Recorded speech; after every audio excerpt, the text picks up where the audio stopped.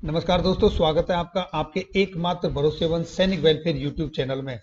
दोस्तों पेंशनर और फैमिली पेंशनरों के लिए संशोधित पेंशन टेबल 24 और 25 जारी कर दी गई है।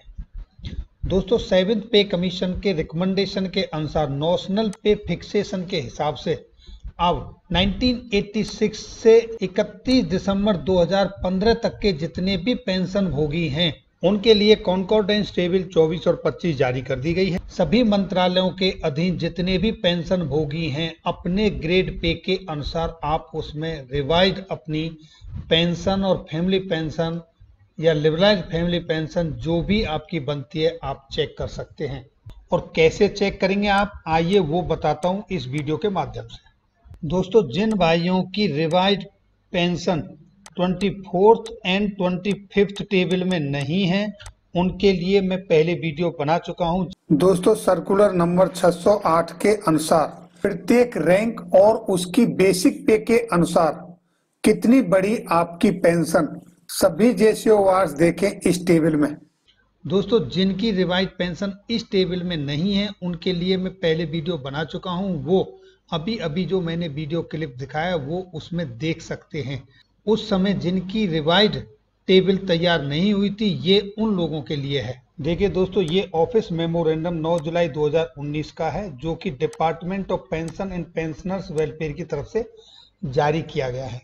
जैसा कि आप यहाँ सब्जेक्ट में देख पा रहे हैं revision of pension with effect from first January 2006 और 2006 से पहले के पेंशन भोगी।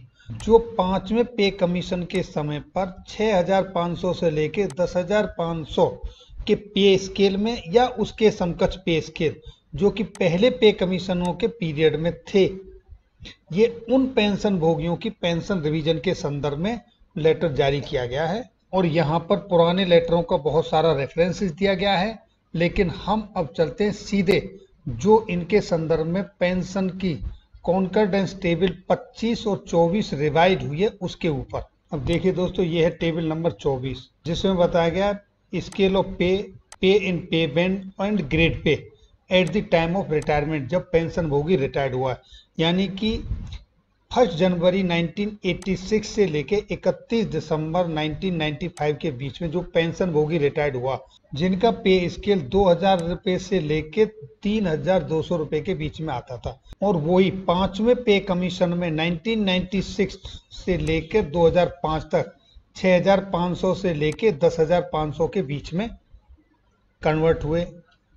और 1 जनवरी 2006 से लेके 31 दिसंबर 2015 तक वो 9,300 से लेकर 34,800 यानी ग्रेड पे 4600 में आ गए अब उनका कॉरेस्पॉन्डिंग लेवल जो सातवें पे कमीशन जो फ़र्स्ट जनवरी 2016 से लागू हुआ तो ये पे लेवल सेवन में आए और इनका जो पे स्केल बना वो चवालीस हज़ार नौ सौ से लेके एक लाख बयालीस हज़ार चार सौ के बीच में आए। अब इनकी पे नॉशनल पे फिक्सेशन के हिसाब से किस तरह एडजस्ट हुई, किस तरह से इनको रिवाइज पेंशन फैमिली पेंशन या इनहेंस फैमिली पेंशन बनी, वो आप इस टेबल में डिटेल से देखेंगे। अब देखिए दोस्तों पे रेंज इन पेंशन भोगियों के लिए मिनिमम और मैक्सिमम क्या है? दोस्तों, जैसा कि मैंने अभी अभी आपको बताया, फ़र्स्ट जनवरी 86 में जब पे कमीशन लगा तो उस समय जिनकी बेसिक पे दो हज़ार रुपये थी, पाँचवें पे कमीशन पर इनकी बेसिक पे छह हज़ार पाँच सौ रुपये हुई। और जब ये यहाँ से रिवाइड हुआ सिक्स सीपीसी में, जो कि फ़र्स्ट जनवरी 2006 से लेके 31 दिसंबर 2012 तक था तो इनकी बेसिक पे रही सोलह हज़ार छह सौ नब्बे रुपये अब सेवेंथ सीपीसी में नॉशनल पे फिक्सेशन के हिसाब से जब इनकी पे 2.57 के हिसाब से मल्टीप्लाई हुई तो ये पहुँच गए चवालीस हज़ार नौ सौ रुपये में।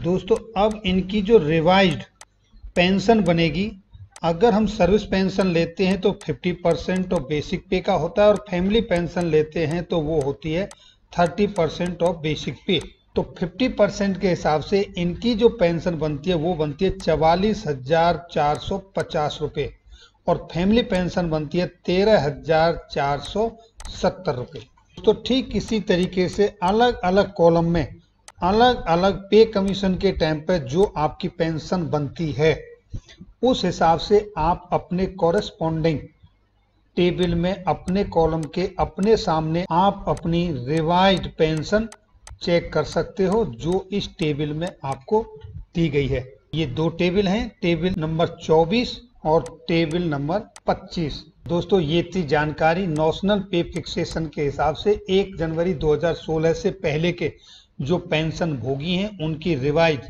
पेंशन और फैमिली पेंशन के संदर्भ में जिनका पे स्केल 6,500 से लेके 10,500 या उसके समकक्ष पाँचवें पे कमीशन में बनता था जिसकी झलक अभी अभी आपने देखी थी उसका लिंक में मैं वीडियो के डिस्क्रिप्शन में दे दूँगा। अगर आपने अपनी रिवाइज पेंशन पहले चेक नहीं की है तो आप उस वीडियो के माध्यम से भी अपनी चेक कर सकते हो। तो दोस्तों ये थी जानकारी इस वीडियो में। अगर वीडियो अच्छी लगी तो अपने दोस्तों के साथ शेयर करें। वीडियो देखने के लिए बहुत बहुत धन्यवाद। जय हिंद जय भारत।